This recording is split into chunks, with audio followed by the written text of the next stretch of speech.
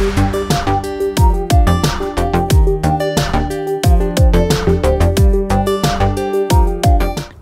ആൾക്കാർ കയറി വരിക കാണുക പരിചയിക്കുക എന്നൊക്കെ പറയുമ്പോൾ എനിക്കൊരു പ്രത്യേകിച്ചും സിനിമയിലും ജനങ്ങൾക്ക് ഒരുപാട് ഇഷ്ടമാണ് നടന്മാരെയും അഭിനയിക്കുന്നവരെയെല്ലാം സിനിമാ മേഖലയിലുള്ളവരെയെല്ലാം.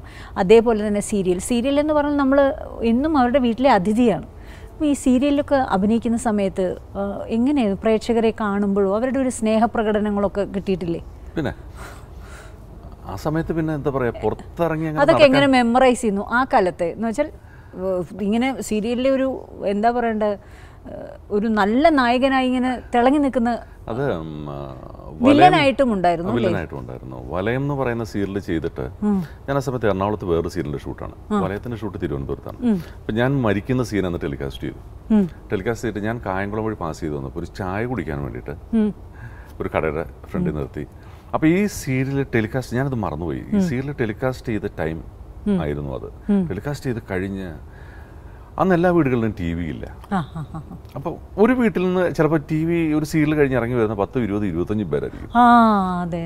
ഞാൻ ആ ഈ ചായ ചായക്കടയുടെ ചെറിയൊരു ചായക്കടയാണ്. ആ സൈഡിൽ ചായ വണ്ടിക്കകത്തിന് തന്നെ കുടിക്കുന്നത് അപ്പൊ അപ്പോൾ ഒരു സ്ത്രീ ഇത് കണ്ടിട്ട് ആ സ്ത്രീ കരഞ്ഞുകൊണ്ട് ഓടി വന്നു.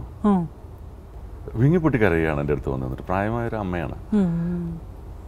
അതെനിക്ക് ജീവിതത്തിൽ ഒരിക്കലും മറക്കാൻ പറ്റാത്ത ഒരു അനുഭവമാണ്. നമ്മൾ മരിച്ചുപോയ സീൻ കണ്ടിട്ട് അവർ ഇറങ്ങി വന്നപ്പോൾ അവർ ശരിക്കും പറഞ്ഞാൽ അവർ റിയൽ ലൈഫുമായിട്ട് ബന്ധപ്പെട്ടിട്ടായിരുന്നു അന്ന് സീരിയലിനെ കണ്ടിരുന്നത്. അവരുടെ ജീവിതവും അതെ അതെ അതെ. ചിലരൊക്കെ എനിക്ക് തോന്നുന്നു സീരിയലിൽ അങ്ങനെയാണ് കാണുന്നത് ഇപ്പോഴും. ചില കുറേയൊക്കെ സിനിമയും വളരെ കുറച്ച് മാർക്ക് ആൾക്കാർക്ക്. കൊണ്ടു നടക്കാതിരിക്കുക എന്നുള്ളത് മാത്രമാണ്. ആ അല്ല വളരെ കുറച്ച് ആൾക്കാർക്ക് മാത്രമേ ഇത് പിന്നണിയിലുള്ള കാര്യങ്ങൾ അറിയുള്ളൂ. അല്ലാത്തൊരു ഇതിരെ വളരെ റിയലിസ്റ്റ് ആയി കാണുകയാണ് അപ്പോൾ നമ്മൾ ഏതിപ്പോൾ ഒരു കഥ വായിച്ചാലും അല്ലെങ്കിൽ നോവൽ വായിച്ചാലും അതിന്റെ ഒരു ഹാങ് ഓവർ നമ്മുടെ ഉള്ളിൽ ഒരു ചിലരുടെ മുന്നിൽ അഞ്ച് മിനിറ്റ് നിൽക്കും ചിലരുടെ ഉള്ളിൽ പത്ത് മിനിറ്റ് നിൽക്കും. നമ്മൾ തിയേറ്ററിൽ നിന്ന് സിനിമ കണ്ടിറങ്ങുമ്പോൾ ഒരു പത്ത് പതിനഞ്ച് മിനിറ്റ് നേരത്തേക്ക്. അതെ. അല്ല നമ്മൾ ക്യാരി ചെയ്തില്ല. പക്ഷെ ചില. ആൾക്കാർ ഡിഫറെന്റ് ആയിരിക്കും. നമുക്കൊന്നും ചെയ്യാൻ പറ്റില്ല. അത് ആക്ടേഴ്സിന് മാത്രം കിട്ടുന്ന ഒരു എന്താ പറയണ്ടേ സ്നേഹ നിമിഷങ്ങളാണ് ഒരു ഭാഗ്യം. സിനിമ എത്രത്തോളം സിനിമ കാണും? തിയേറ്ററിൽ ഇനിയാണെങ്കിൽ നമുക്കത് തിയേറ്റർ റിലീസ് ഞാൻ ഫസ്റ്റ് ഡേ സിനിമ കാണും. അതെനിക്ക് ഒരുപാട് സന്തോഷമുള്ള ഒരു കാര്യമാണ്. കാര്യം നം എല്ലാവർക്കും ആശങ്ക ഉള്ള ഒരു കാര്യമാണ് തിയേറ്റർ റിലീസ്. കാര്യം ഫിഫ്റ്റി പെർസെന്റേജേ പറ്റുള്ളൂ. ഓൾട്ടർനേറ്റ് ഫാമിലി ആണെങ്കിൽ മാത്രമേ ഇന്ന് ഞാൻ കെ എസ് എഫ് ടി സിയുടെ എം ഡിയെ കണ്ടപ്പം എം ഡിയും പറഞ്ഞു ഫാമിലി ആണെങ്കിൽ ഒരു ഒന്നിച്ചിരിക്കാം.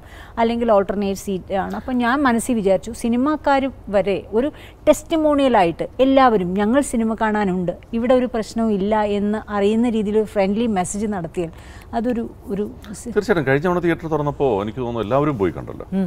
നമ്മൾ താത്വികാവലോകനത്തിന്റെ ഷൂട്ടിംഗ് ടൈം ആയിരുന്നു. കഴിഞ്ഞ തവണ തിയേറ്റർ തുറക്കുമ്പോൾ. ആ. സമയത്ത് ജോജു ജോർജ് ഡയറക്ടർ അഖിൽ മാരാർ എല്ലാവരും ഞങ്ങൾ എല്ലാവരും കൂടെ പോയാണ്. അന്ന് ഏത് സിനിമയാണ് ഞാൻ കൃത്യമായിട്ട് ഓർക്കുന്നില്ല. ആ സമയത്ത് തിയേറ്റർ റിലീസായ ഏതൊരു സിനിമ ഞങ്ങൾ എല്ലാവരും കൂടെ പോയാണ് കണ്ടത്. അതിനുശേഷം വീണ്ടും കോഡ് കോഡ് വന്നു. ഒരു പാനിക് മൂഡ് വന്നതിന് ശേഷം പിന്നെ വീണ്ടും തിയേറ്റർ അടക്കുകയായിരുന്നു